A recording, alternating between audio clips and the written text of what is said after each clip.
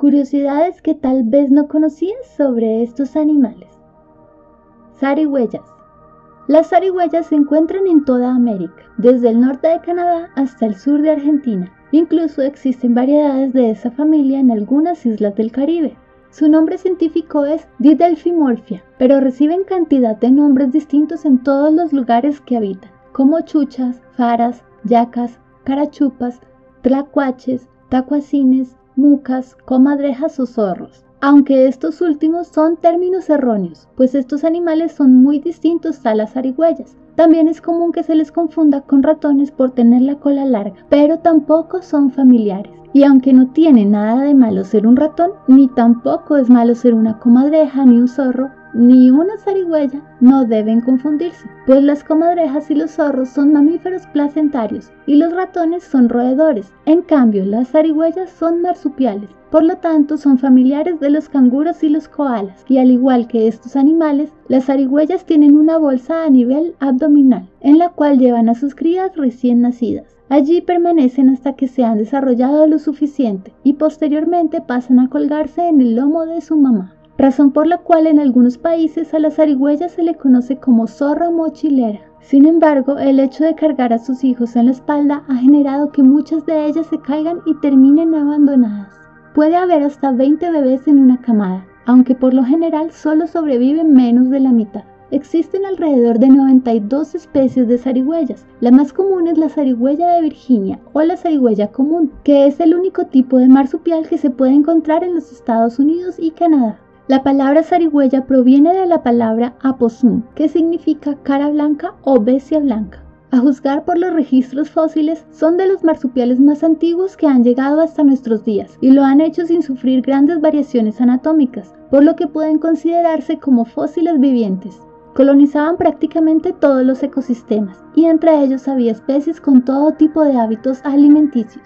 Las mayores amenazas de las zarigüeyas son la destrucción de su hábitat natural, los atropellamientos en carreteras, ataques por parte de animales domésticos y en algunas comunidades de ciertas regiones también las cazan como alimento. La producción de carne de zarigüeyas se ha convertido en un novedoso mercado para preservar la existencia de este marsupial que se encuentra en peligro de extinción la Universidad Nacional de Colombia ha impulsado un proyecto destinado a su incorporación en el Pacífico colombiano, además con el objetivo de brindar nuevas estrategias alimenticias para la región. Lastimosamente, la principal amenaza es el desconocimiento de la especie, que la ha llevado a ser objeto de los más duros y crueles tratos. Actualmente las zarigüeyas son más visibles debido a que las urbanizaciones se han extendido a los sectores donde ellas habitan, por lo tanto, es común que entren a las residencias en busca de alimento, ya que su hábitat natural se está perdiendo aceleradamente. Cuando se sienten amenazadas, las zarigüeyas adultas abren los labios, sacan los dientes, botan espuma por la boca, entrecierran los ojos, miran fijamente y segregan un líquido oloroso de sus glándulas anales. Se tiran de lado, se hacen bolita y parecen muertas. En esta posición, una zarigüeya se puede coger e incluso levantar sin que se mueva pero esta es una respuesta fisiológica inconsciente al estrés extremo. Las zarigüeyas se hacen las muertas debido a que al ser un animal muy nervioso entra en estado de shock al sentir peligro y por lo tanto queda en un estado cataléptico de manera involuntaria. Fingen su muerte cuando se ven en una situación de peligro, esto con el fin de que sus depredadores no tengan interés en ellos. Esta táctica es un arma de defensa, al igual que el almizcle que botan únicamente cuando son atacadas. Pueden recuperar la conciencia entre 40 minutos a 4 horas después. El proceso para despertar comienza con un leve temblor en las orejas. Cuando están en peligro también gruñen y van aumentando sus tonos mientras más amenazados se sienten. Las zarigüeyas bebés en estado de estrés hacen un ruido como un estornudo para alertar a las madres cuando se sienten amenazadas. Las zarigüeyas jóvenes muestran los dientes y silban. La zarigüeya hembra tiene un aparato reproductor bifurcado, es decir, con dos cavidades, mientras que el del macho posee dos puntas. Los periodos de gestación son muy cortos, pues van de 8 a 45 días dependiendo de la especie. El tamaño de las zarigüeyas va desde los que se acercan al de un gato grande hasta los que son tan pequeños como un ratón. La mayoría de las zarigüeyas tienen hocicos largos. Su boca es capaz de abrirse más de 80 grados. Además, poseen alrededor de 50 dientes filosos y garras capaces de trepar diversas superficies. Sin embargo, es poco probable que te muerdan, pues ellas jamás se enfrentarán con un ser humano, ya que son animales pacíficos y solo atacarían a manera de defensa. Caminan con sus patas planas sobre el suelo y sus patas traseras tienen un dedo oponible sin garra.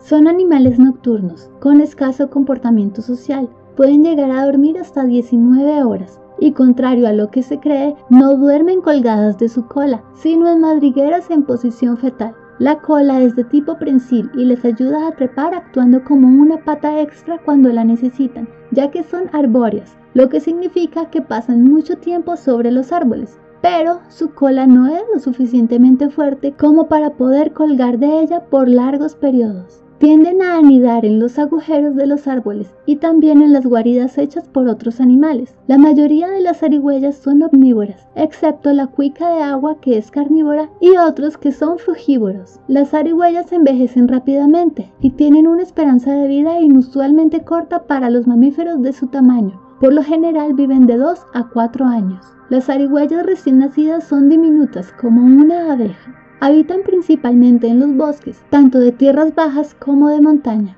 aunque algunas se encuentran también en zonas cercanas a los núcleos urbanos. Una de las más típicas es la zarigüeya común. Esta habita desde México hasta el norte de Brasil y los países andinos, a excepción de Argentina y Chile. Tiene un alto valor ecológico por su papel en la dispersión de semillas y son presa principal para algunas especies de lechuzas, halcones, culebras, águilas, puma, jaguar, tigrillo, zorro y en general de la mayoría de mamíferos carnívoros. A su vez, están como depredadores en la cadena alimenticia. Consumen individuos como alacranes, arañas, serpientes, ratones, crustáceos y otros. Las zarigüeyas son capaces de eliminar hasta el 95% de las garrapatas que se alojan en ellas, gracias a su agresiva rutina de aseo, por lo que no transmiten la enfermedad de Lyme o cualquier otro tipo de infección transmitida por las garrapatas a otros animales o a seres humanos. Las zarigüeyas poseen una extraña habilidad para recordar en dónde encontrar sus alimentos. En las pruebas para evaluar su capacidad para recordar dónde están, las zarigüeyas no solo obtuvieron mejores resultados que las ratas y los conejos, sino también que los perros y gatos. También son capaces de encontrar su camino por laberintos mucho más rápido en comparación con ratas y gatos. Al igual que los ñeques o aguatíes,